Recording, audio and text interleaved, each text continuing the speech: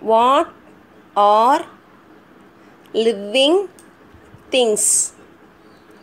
Things that have life in them or living things.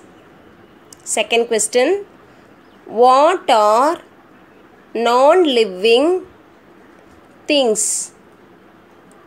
Things that do not have life in them or non living things.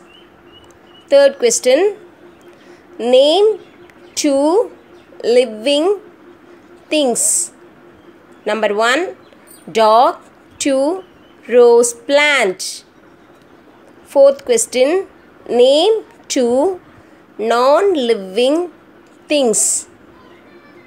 One stone, second one table. Fifth question Why plants are living things? Plants have life in them, so they are living things.